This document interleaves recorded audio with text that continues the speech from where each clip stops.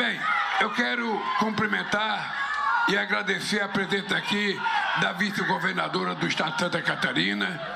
Eu quero dizer para vocês que é muito importante o governador, eu quero lhe parabenizar, porque todos os estados que eu viajo, e todas as cidades, eu faço questão de convidar o governador, de convidar os prefeitos e de convidar os deputados.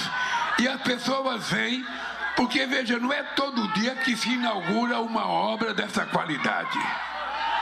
Não é? Esse governador que está aqui, eu não o conheço, portanto não posso falar mal dele, mas ele perdeu a oportunidade de participar da inauguração da obra mais importante do estado de Santa Catarina. Eu não consigo entender. A governadora está vendo, se viesse aqui, seria tratado com respeito, seria tratado com respeito, ia fazer o discurso que ele quisesse fazer, ninguém ia pedir e controlar o que ele fosse falar. E o prefeito a mesma coisa. Lamentavelmente, tem gente que pensa pequeno, tem gente que age pequeno e não enxerga a necessidade do povo brasileiro.